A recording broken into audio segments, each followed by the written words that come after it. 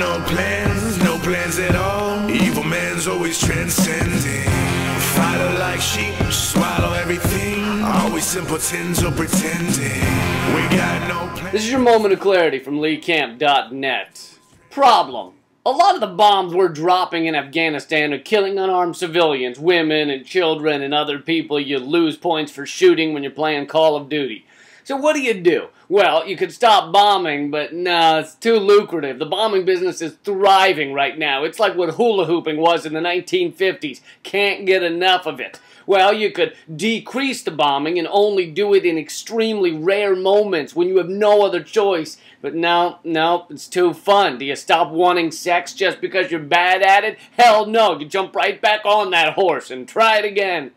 I'm, I'm not saying women are horses. I, I'm just saying. So the Obama administration came up with a brilliant answer. Too many civilians dying? You change the definition of the word civilian. How beautiful is that shit? And at this point, most of you with an intelligence greater than an eggplant parmesan are thinking, you can't just change the definition of a word. But if you're a president, you can. You can change words and meanings and anything. Just run around decreeing. Dessert is now breakfast. Breakfast is now lunch. And premature ejaculation is now a just right ejaculation.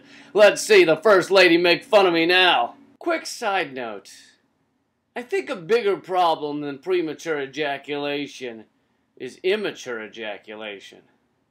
You know, just doing it to be silly when everybody else is trying to focus on the lecture.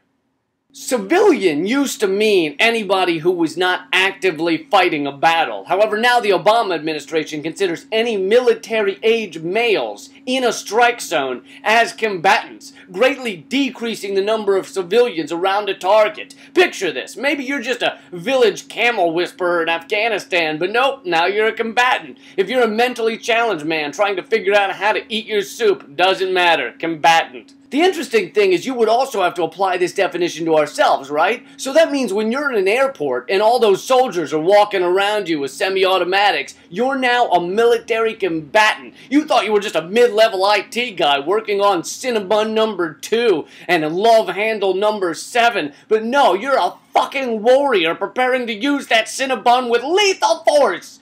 It also means that everyone in the planes that were hijacked on 9-11 were no longer civilians because they were in the proximity of a terrorist. So they were all combatants. Starting to sound a little weird, starting to sound like reality in a fun house mirror, but with less fucking fun? Yeah, that's what it is. It's foality. The world is now whatever makes us most comfortable, even if it means we have to redefine words to get there. Look, we don't like killing civilians. It makes us feel a little icky, right? But in foality, we aren't killing civilians. They're combatants now, who technically didn't know they were fighting, and were only armed with falafel.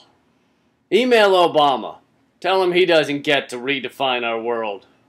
That's been your Moment of Clarity from LeeCamp.net. There's still time to win a free copy of the Moment of Clarity book. For a couple of more days, all you have to do to enter is leave a comment under one of the videos at LeeCamp.net.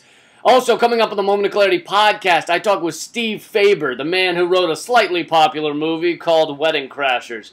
Get it for free on iTunes, Stitcher, or the Moment of Clarity Android app. Plans, no plans at all. Evil man's always transcending. Fighter like sheep, swallow everything. Always simpletons or pretend.